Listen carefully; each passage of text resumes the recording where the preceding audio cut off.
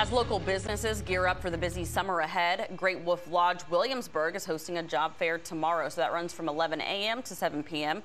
The popular tourist destination is looking to fill more than 50 open positions. That includes lifeguards and cleaning staff. And of course, we have all the details on how to make an appointment on wavy.com.